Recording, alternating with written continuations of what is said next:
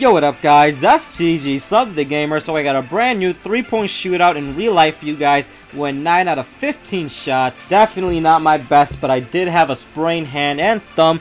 As you can see in the video, I will be having a sprained brace, so of course it did affect my shot. I knew I could have done better, but it is what it is guys. I had a lot of fun, but I really want to ask you guys, if you want to see more of these type of videos, me playing basketball in real life, just let me know in the comments down below. I did sprain my ankle today, so I am out for a week or so, but I'll be back in the court next week. So if you want to see more of these in real life gameplays, just let me know in the comments down below. If you enjoyed this video, please give it a thumbs up. Thanks for watching this video, guys. I STG Sub the Gamer.